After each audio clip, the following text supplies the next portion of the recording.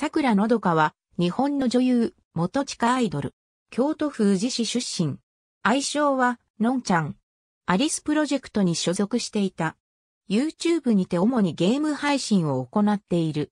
タレント、ユニット芸能アイドルオーディション事務所アリスプロジェクト、最強の地下アイドル、ベビー誕生。桜のどかオフィシャルブログ。アメーバブログ。2015年9月12日閲覧。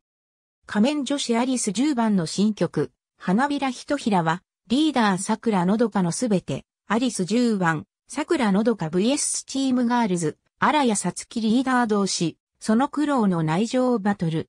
アモビエアモビー。2015年9月12日閲覧。仮面女子、河村効果、アリス映画初主演、自分じゃないみたい。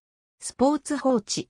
http www. 放置 COJP エンターテインメント2016万904ウォット 1T5 万133 HTML2016 年9月4日閲覧ありがとうございます。